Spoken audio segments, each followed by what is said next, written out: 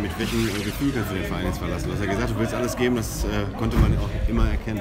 Ja, ich weiß nicht, wann ich das gesagt habe. Ich habe auch gesagt damals, dass Einheim auf gar keinen Fall absteigen soll. Wie gesagt, danach habe ich entschieden für Duisburg und äh, ich habe auch die Jungs versprochen, um alles zu geben und äh, das habe ich auch.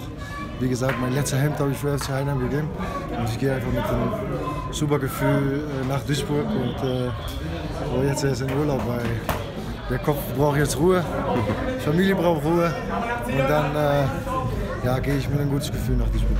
Jetzt musstet ihr ja nicht so unbedingt auf die anderen Plätze schauen, aber wie weit habt ihr die anderen Ergebnisse mitgekriegt? Wie weit Boah, kann man schon. das freimachen? Ich glaube, in der ersten Halbzeit habe ich schon gesagt, äh, dass, dass Braunschweig jetzt 4-2 hinter steht.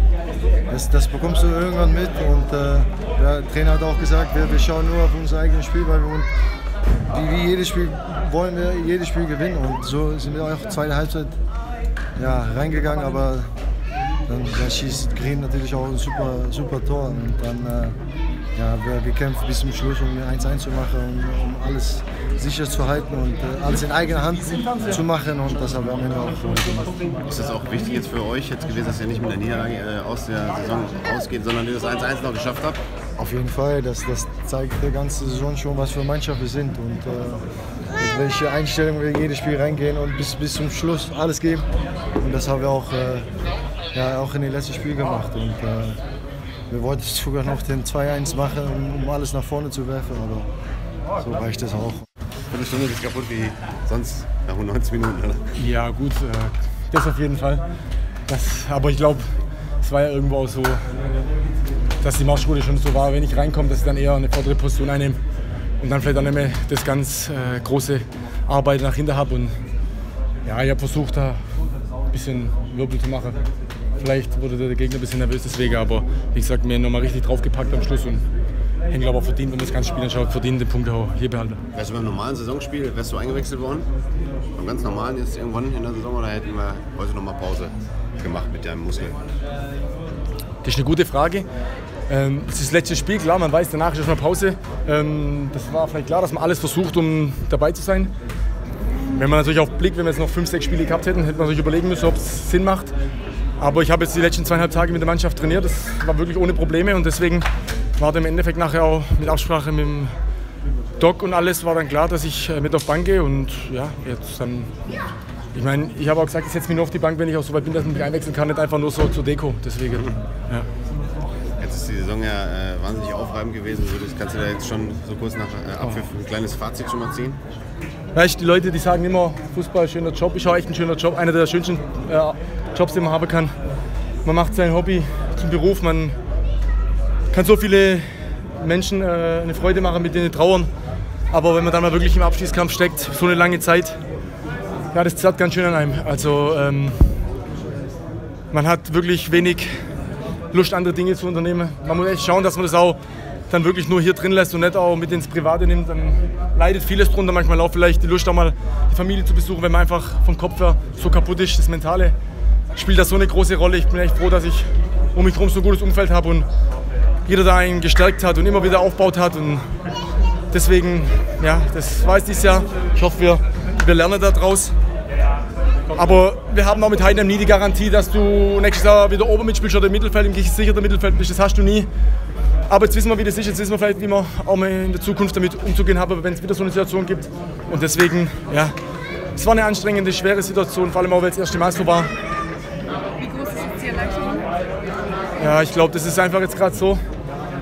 Ähm, ich glaube, ich brauche ganz kurz, bis ich da so ein bisschen die Freude durchkommt. Ich, ist wirklich so die letzten Tage, man, man wollte unbedingt, dass das Spiel schon vorbei ist. Gestern schaut man Bundesliga und eigentlich will man selber schon auf dem Platz stehen, weil man will nicht mehr warten, man hat die innerliche Unruhe extrem und so. Und, ähm, ja, wie gesagt, das zerrt an einem, aber man ist erleichtert jetzt, man merkt, es fällt vieles ab im Kopf. Aber ich glaube, ich brauche noch die eine oder andere Minute, die eine oder andere Stunde, um dann wirklich äh, alles loszulassen und dann auch ja, in vier, fünf Tagen dann entspannt auch an Urlaub zu denken. Wie gesagt, jetzt brauche ich nur noch eins und das wisst ihr selber. Und heute Party? Wird heute groß gefeiert? Ja, ich habe gesagt, ich brauche nur noch eins, Alkohol. Weil ich muss den ganzen Frust, den ich letzte Woche hatte, mal runterspülen. Nein, äh, Spaß beiseite. Also wie gesagt, heute davon wirklich auch ein bisschen was, was trinke und äh, einfach jetzt auch den Abend voll ausklingen lasse. Party, keine Ahnung, ist ja kein Feiertag. Obwohl wir jetzt frei haben. Hey, wir treffen uns morgen auch nochmal, von dem her, da möchte ich auch schauen, dass ich wenigstens aus beide Augen schauen kann. Deswegen möchte ich dann auch normal in den Urlaub kommen. Und dann Abflug, oder? Ja, das ist eine Aussage. Wir haben normal in den letzten Jahren immer gebucht. Dieses Jahr haben wir noch nichts gebucht. Deswegen werden wir jetzt gleich mal an den Laptop sitzen. Und hoffe, dass wir noch ein gutes Angebot kriegen für morgen Abend oder für Dienstag früh. Ich habe gerade den John auch gefragt, äh, war das jetzt äh, psychologisch auch wichtig, dass er jetzt nicht mehr in der Niederlage aus der Saison geht, dass er das 1-1 noch gemacht hat? Ich meine, im Endeffekt ist man jetzt, sind wir ja schlauer, hätte es auch 0-1 gereicht. Nein, wir haben uns gesagt, wir Trainer hat mir auch nochmal gesagt, wo ich reinkommen bin, wir, wir werden das Spiel nicht verlieren, wir verlieren das Spiel nicht heute. Und man hat ja gesehen, Kurt wollte nur noch irgendwie verwalten und wir sind nach vorne mit viele Männer und haben echt auch, vor allem das Tor, wenn man sieht, war super rausgespielt. Und es war einfach sensationell, dass wir da den Ausgleich machen.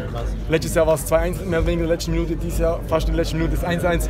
Ja, uns darf man nicht abschreiben, auch im letzten Spiel. Und ich glaube, auch so kann man sagen, wir haben alles dafür getan, um zu zeigen, dass wir jetzt auch trotzdem Ergebnis, das man erklärt hat, jetzt nichts äh, hier hergeschenkt haben, sondern wir wollten unbedingt äh, jetzt nicht in der Niederlage in die Sommerpause gehen, das haben wir geschafft. Und die Jungs haben heute ein super Spiel gemacht und deswegen bin ich unglaublich stolz drauf, dass wir es jetzt geschafft haben. Und wieder das fünfte Jahr in der zweiten Liga sind, um wir endlich mal ein paar Wochen Zeit aber durchzuschnaufen. Ich bitte dich, dass du mal vielleicht deine Gemütsverfassung so schilderst, wie es dir geht oder den ganzen Tag so gegangen ist heute. Ja, am Anfang vom Tag waren wir schon richtig nervös. Er hat angefangen, wo man aufgestanden ist, da war man schon, hat sich schon Gedanken über das Spiel gemacht. Aber jetzt fällt eine Riesenlast ab, dass wir in zweiter Liga bleiben und ähm, ja, jetzt geht's ab in Urlaub und Kopf frei halten. Du hast heute auch ein Tor gemacht. Wie wichtig war das auch für dich, nachdem du in der Saison jetzt nicht so, in der Rückrunde zumindest nicht so zum Zug gekommen bist? Ja, das Tor war für mich unglaublich wichtig. Hat mir jetzt nochmal einen Schub gegeben, Vertrauen. Letzte Trainingswochen habe ich Gas gegeben. Und ja, die Saison war eine schwere Saison für mich und ähm, zweimal verletzt gewesen, einmal mit der Leisten-OP. Und jetzt, dass der Trainer mir wieder Chance gegeben hat, zu spielen jetzt heute über langen Zeitraum und dann konnte ich das Vertrauen zurückzahlen und Gott sei Dank haben wir dann noch 1-1 gespielt. Allgemein, wie wird jetzt gefeiert? Ja, jetzt wird erstmal mit der Familie gefeiert, mit Freunden und nachher auf dem Fanfest und dann sieht man weiter. Also wie fühlt es sich jetzt aber direkt nach dem Spiel an? Also angespannt im Endeffekt gibt euch dann Kiel doch die Schützenhilfe. Ja, ich sag mal so, ab und zu hat man vielleicht schon aufs Ergebnis geguckt. Und am Anfang, wo es dann 1-0 für Braunschweig stand, war es schon noch mal kurz, kurz komisch. Aber jetzt, wo, die, wo wir dann noch den Punkt geholt haben und ja, leider Gottes dann ähm, Braunschweig jetzt in der Liga 3 ist. Ähm, aber für uns war es auch gut, dass wir jetzt uns unentschieden gespielt haben. Nächstes Jahr wird nochmal neu angegriffen. Auf jeden Fall. Welche Gefühle hattest du, als du das Tor erzielt hast? Ja, war ein super Gefühl. Ähm, ja, die Saison mein erstes Tor und bedeutet mir natürlich viel jetzt am letzten Spieltag nach der Verletzung, nach den ganzen negativen Geschichten jetzt zu treffen.